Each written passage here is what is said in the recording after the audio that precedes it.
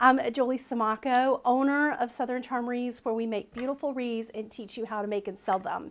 This video, we're actually going to be making a garden arrangement. I think this would be perfect for the summertime and to put in um, your kitchen for the summer. These, this is going to be an arrangement that uh, Jackie Johns made at my wreath retreat recently.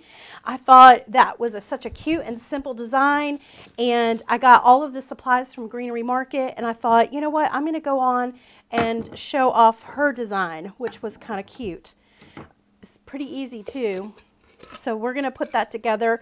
I love this little container. We got uh, all of this, this, all of it from Greenery Market on Etsy. So the first thing I want to do is I'm going to zoom in so you can see just a tad bit better.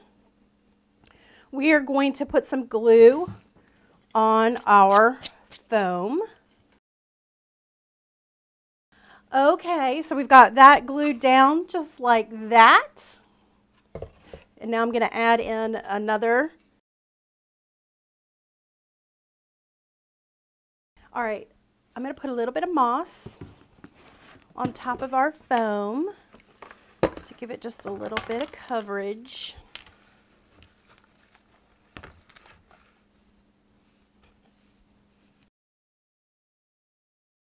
If you don't know who I am, I'm Julie Siomacco, owner of Southern Charm. I have been making for 10 years now. Um, started out making for my own home and then gradually moved into selling and now I teach people to make simple designs. I'm going to be the first to tell you don't be coming to me for something elegant and extravagant. Simple is me. That's what I like. I like simple, simple, simple. Something easy you guys can do, right? Something easy you guys can do. So I'm thinking this is going to go. So I know the design. I've already seen it. It's going to go, this is going to go here. And I'm going to put this over here. Like I said, this is a design that was created by Jackie Johns at my wreath retreat. And so I'm going to hopefully do her some justice in duplicating it.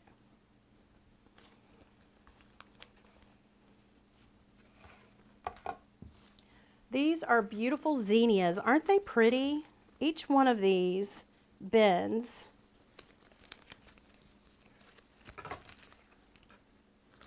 The leaves even have little uh, wires in them so you can bend them.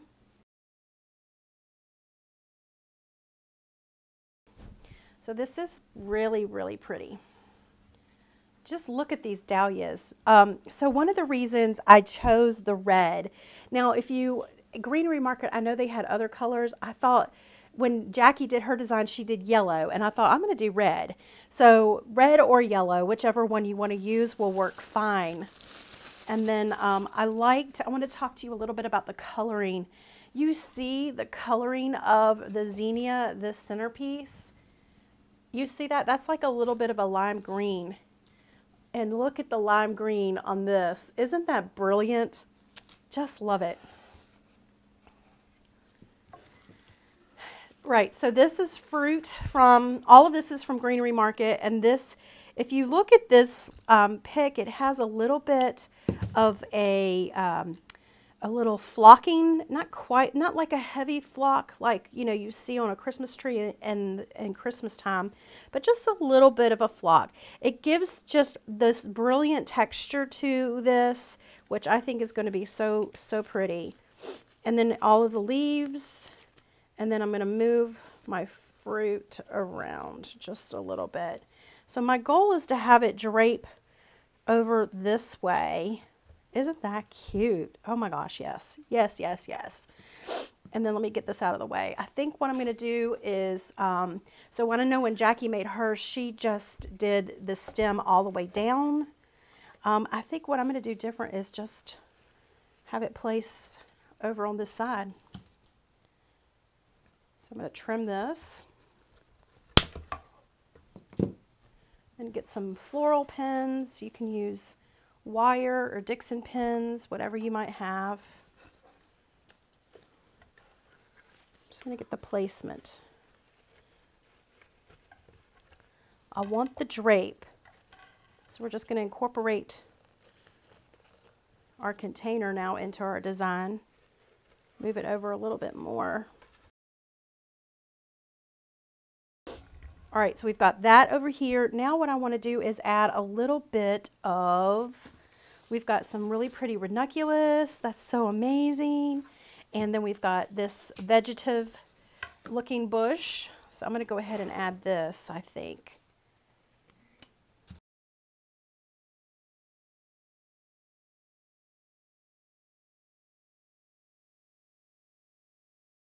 So I love getting in here and making just to help me get through some of the stresses of the day. I know I'm not the only one. Crafting is just a great little outlet, isn't it? Hold on, I didn't get that one all the way in.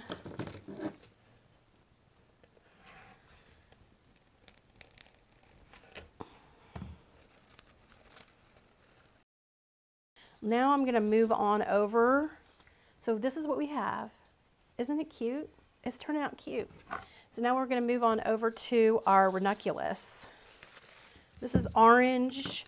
You can, um, I'm sure there's other colors if you can't find orange. I also, also brought over these um, mums, not mums, what are these called? Clover bundles. I think this would look really pretty in it. So if you can't find the orange ranunculus, or if this is yellow and then you have orange, or maybe you have yellow ranunculus and red flowers, whatever the color you want to do, I think it will be good. But these little um, flowers would look really cute with this too. So one of the things that um, I teach in the Wreath of the Month Club group is about grouping. And a lot of times we can make our wreaths with groupings and you can make an arrangement with grouping. So for me, the to use groupings is the easiest design to make, especially when you're making an arrangement like this. So if you if you ever like plant outside in your planters for spring or summer, um, or even if you go to the greenery, the greenhouse, and you see how they plant things together, they do groupings. So they put like all the petunias over here and then all of the ver verbenum over here, and eventually it intermingles together, right? But they start out with groupings, and then this is all I'm doing here with this. It's just a grouping, but as if it's already grown up, if that makes sense, grown out. So uh, groupings are just a great way to, um, a great easy way for those who are new to, uh, you know, floral design.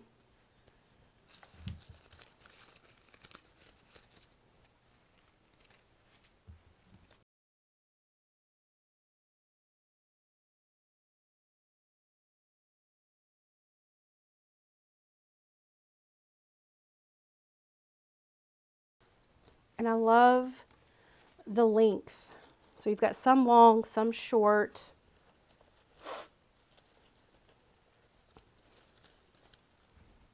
And then some of these little pieces that we've cut off, I can go through and attach those. So we've got one um, side that's got all of our pretty orange and now what we're going to do is add in um, some other element. We're going to add, I think we'll add this fern. Let's see, we got fern. No, let's add this. so these berries, it's just a little bit of a berry bush and it can be divided into many different ways. And it's just a, a really good texture. They're plastic, so they're going to keep, you know, they're going to keep their shape. And I don't think we'll use all of this. I'm just going to divide it.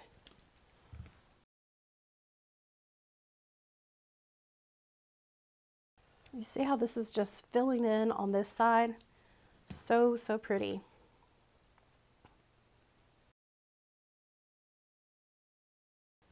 Continuing on with our arrangement, I'm looking to see if there's any holes. I think there's a couple over here. I'm just going to keep doing a little bit more on this side.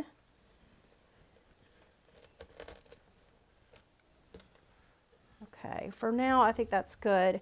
Um, and you know when you have your planters, remember I talked to you about your planters when you're planting them in the summer, maybe they're on your um, your deck or your front porch and how they tend to overgrow. There's always that one thing that tends to dominate the, the planter.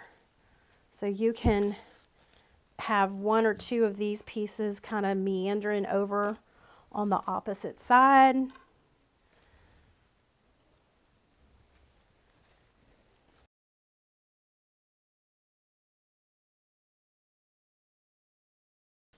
So you could see how we've started to incorporate a lot of the yellowy green texture and now it's gone throughout the design just a little bit just to spread the love.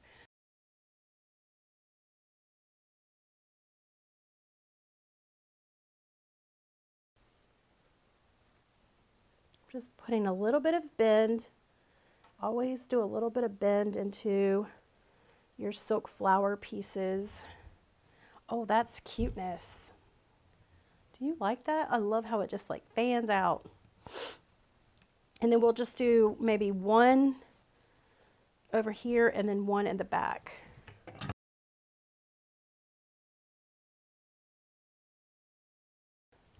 All right, I still have some fern left over, but I'm going to draw the limit right now and say we do not need any more fern. At this point, I'm going to look around and see. I've got this one more little cabbagey thing. And I'm going to decide, do I want to add another little layer of that? I think I might do that here in this back. So we've got a little bit, just a little bit of a hole right there. In fact, I could just come in and fill it in with that and then save this. So that's very important to just look at things that you have already on your table. Maybe it's on your floor and you're thinking, hmm, there's a hole. So right here, I'm going to just put that in there. So this is not trash. This is a great way to fill in.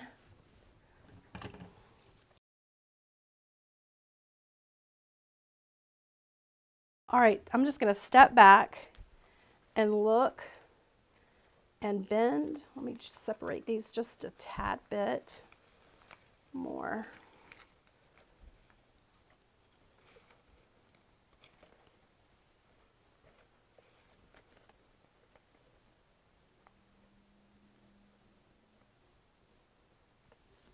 Just going to give a little bit of bend.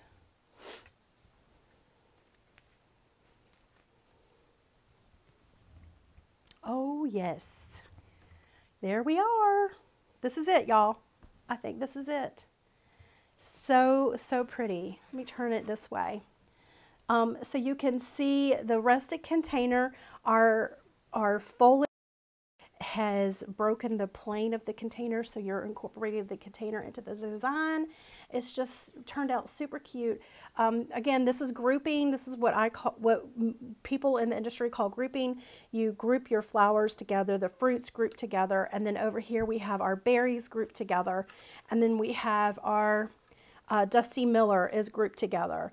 Then you can still intermingle little things like a fern here or there, and that's what I did. Started the fern over on this side and then just little pieces throughout. Um, it turned out super, super pretty. The Again, if you get the supplies from Greenery Market, these could have been yellow and still been just as pretty. Um, so don't think that if they run out of the red, um, that yellow won't look pretty. It will look stunning with this. In fact, it will be very bright and cheerful. It'll go perfectly with your lemon that you have. So I think this turned out really cute. This is a zinnia. Um, it is great. Uh, I'm going to zoom in a little bit just to see if you can see some of the texture on it. So when I'm looking for flowers for home decor, I'm looking for um, the quality. So I want to see each individual petal. I like to see that we have leaves that have the wire in them so that we can bend and shape them.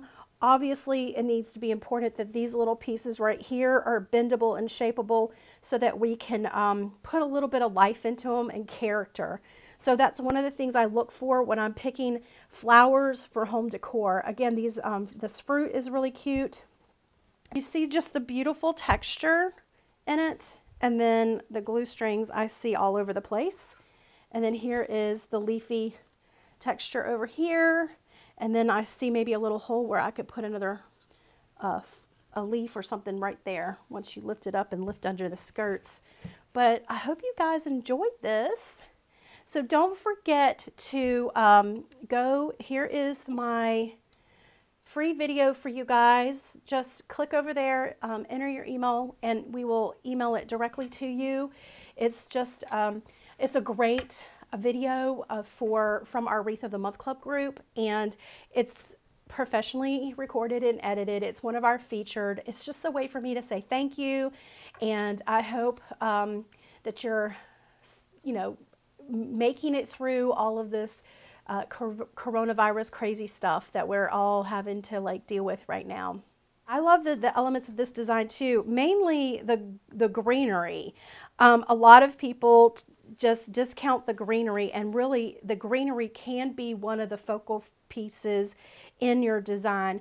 And then one of the other things is not to be afraid. If you go to um, a planter, I'm um, not a planter, a nursery where they make do planting and planters, take a look at some of the, the designs that they put together because they are using this grouping method. That's it. I hope y'all have a wonderful evening and I'll catch you hopefully later um, sometime in the week. All right.